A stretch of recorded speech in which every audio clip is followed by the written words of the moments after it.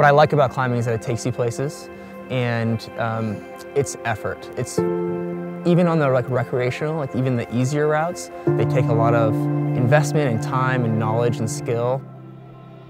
Personally, I'm probably more of a timid climber. Uh, I enjoy climbing like really, really, really huge, but like easier routes, which is what we're doing out here on this trip.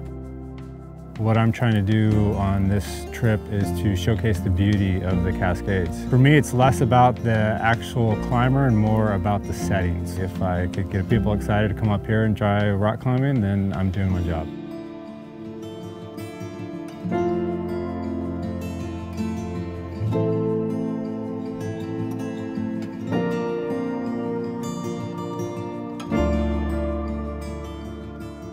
The setting is absolutely stunner and very different from the mountains that we have in Colorado.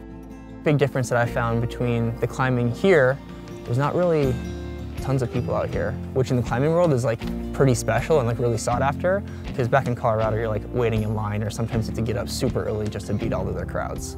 And so to have peacefulness out here is really, really nice. Couple years ago, maybe a year, year and a half, we ran a story about a climbing route called Fly Boys in Mazama. And it's fully bolted, uh, and it's a relatively easy grade, which makes it really unique in this country. It's basically like the tallest, easiest route you can climb all on bolts. And while you would think like people that work in Climbing Magazine are like super crushers, I was originally hired because I was like an average climber. So ever since we originally ran an article about it, I've wanted to come and climb it.